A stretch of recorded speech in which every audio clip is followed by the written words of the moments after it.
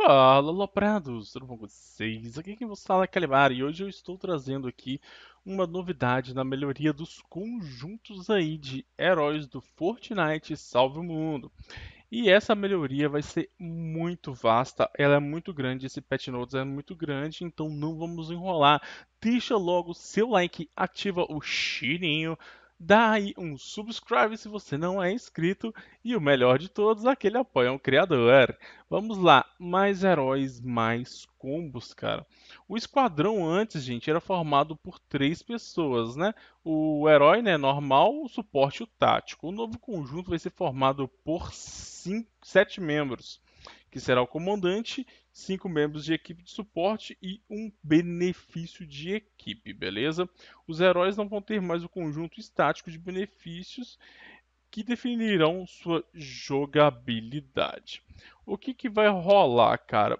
Vai mudar totalmente a jogabilidade dos heróis no game.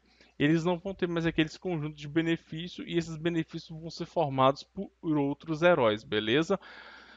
O que, que, vai rolar? Comandante. Comandante vai ser o herói que você vai jogar durante a missão, né? E esse herói vai determinar suas habilidades com benefícios de classe. O que, que vai rolar?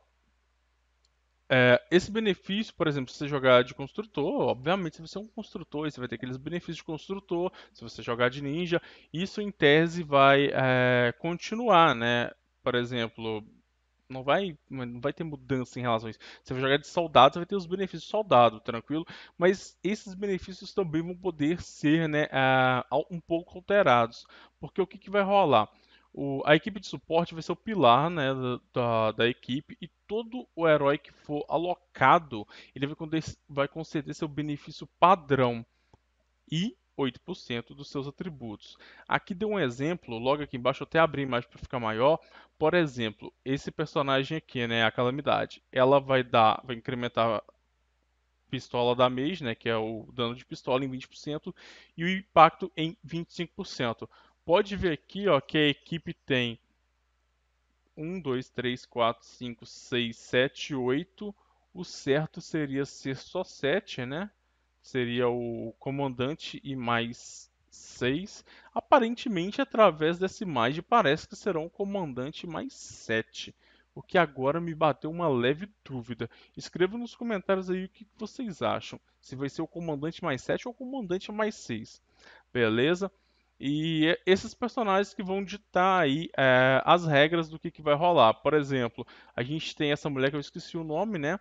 E ela vai dar um Shell Shock. Aparentemente vai ser um dano de 12. Explosive Rounds. É, assalto da Mage, que vai ser o dano com a arma de assalto. Então, cada personagem vai dar um atributo a mais, um dano a mais, o que vai ser assim. Eu acho que vai deixar o jogo muito fácil, essa é a minha opinião, né, sincera. Mas vamos falar disso mais no final, beleza? Rebene é benefícios de classe. Cada classe tem um conjunto de benefícios de classe que compõem características compartilhadas de cada classe. Ao jogar de construtor, você precisa ter habilidade de construtor. E nesse, nesse contexto, o que, que eles querem mostrar? Que mesmo você jogando de construtor, você pode ter um construtor focado em espada, pode ter um construtor focado em arma de assalto.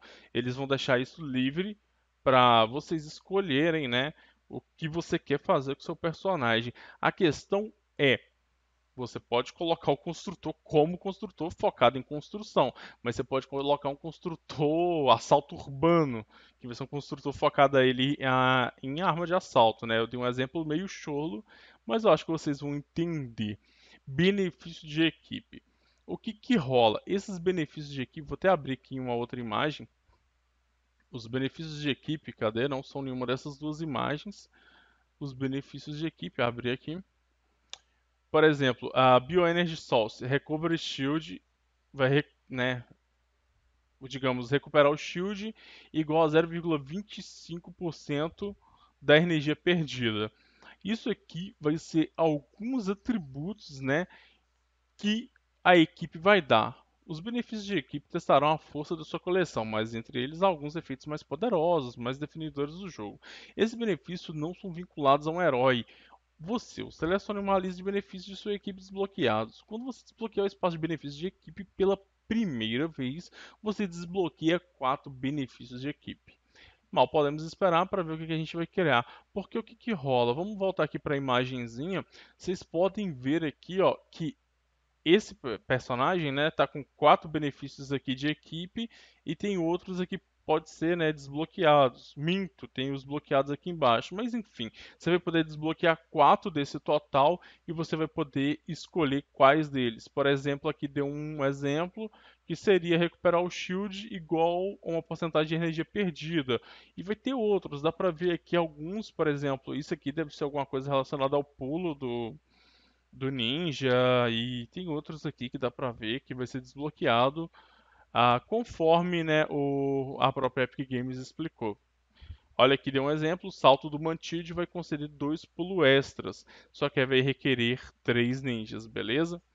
Vamos passar um pouquinho, cara, tem muita coisa nesse Patch Notes, eu vou dar só uma pincelada para não ficar muito longo o vídeo. Primeira coisa que me chamou atenção quando eu li assim rápido foi heróis míticos, cara.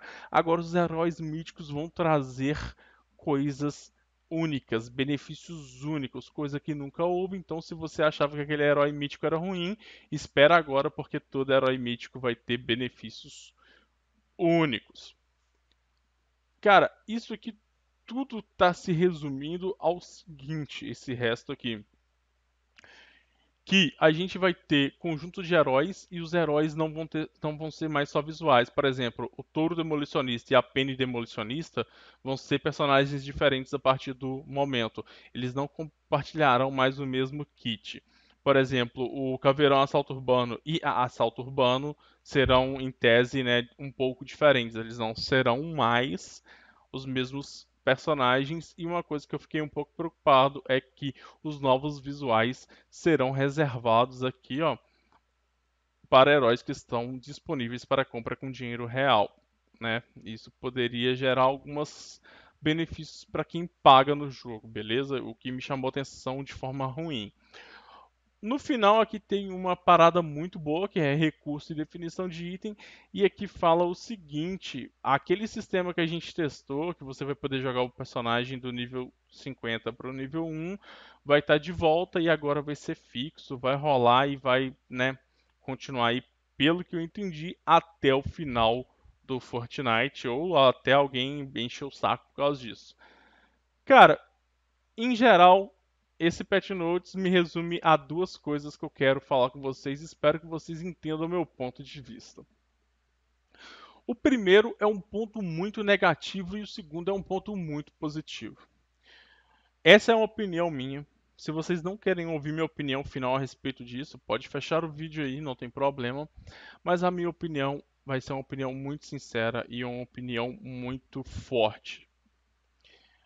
A opinião uh, de forma boa, né? O que eu acho que vai trazer de bom é que a gente vai ter novas coisas para fazer, nova diversão em geral, que você vai poder montar novo esquadrão com novas coisas, com novas habilidades, e a gente vai quebrar a cabeça para montar um esquadrão melhor e tal. Então, assim, vai ser algo muito, muito divertido e a gente vai ficar muito forte. Mas é aí que entra o segundo ponto, cara. Porque o jogo em si ele já não tá difícil, entendeu? A, a partir desse momento, eu acho que o nosso esquadrão vai ficar forte demais, o que vai acarretar aí, por exemplo, talvez fazer um Twine Peaks 10 é, de forma muito easy.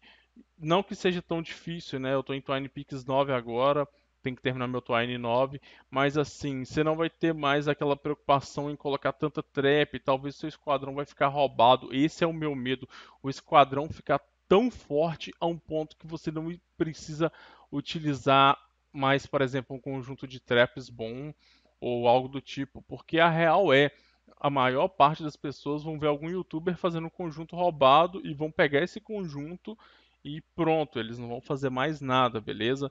Mas para quem quer testar, cara, isso vai ser fantástico. Mas esse é o meu medo, porque o jogo em si já está um pouco fácil. E o jogo em si já está um pouco fácil. A partir desse momento, ele entra no modo Super Easy porque agora ele vai ser muito, mas muito mais fácil. Então eu espero que entendam isso, né, essa forma positiva e essa forma negativa que eu estou vendo nesse conjunto de heróis. Eu particularmente acho mais positivo do que negativo, porque eu estou realmente ansioso para fazer esse novo teste e espero que quando chegar eu teste o máximo possível desses novos esquadrões. Queria agradecer a presença de todos vocês por mais esse vídeo, participar aí, cara, tamo junto vai deixando o seu like aí, ativa o sininho e valeu!